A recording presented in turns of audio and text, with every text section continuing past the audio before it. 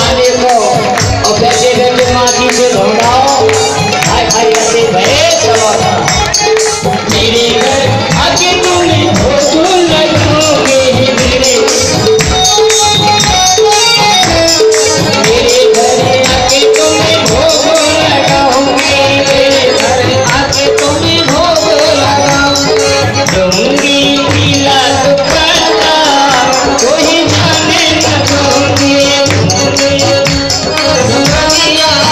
Yeah.